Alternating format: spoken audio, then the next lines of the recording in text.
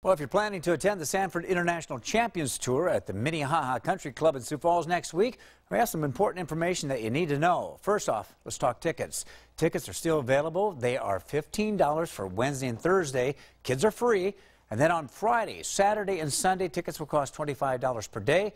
Kids are $5. And you can buy tickets at any Hy-Vee location or Ostads. Or you can actually purchase your tickets online through the Sanford International website.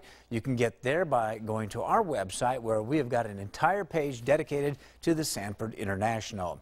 And here's something that caught my eye. For Friday, Saturday, and Sunday only, military and first responders can all get in free. You just need to stop by either the Drive Safe South Dakota main entrance or Great Life Fitness entrance. And there, you're just going to need to show your ID and then receive a special wristband for you and one guest. You'll be able to go to the military and first responders outpost and enjoy some seating, complimentary food and beverage, and some other amenities. Now, as far as parking goes, you can park for free at either the WH Lyon Fairgrounds or Sherman Park. Air-conditioned shuttles will be running every 10 to 15 minutes.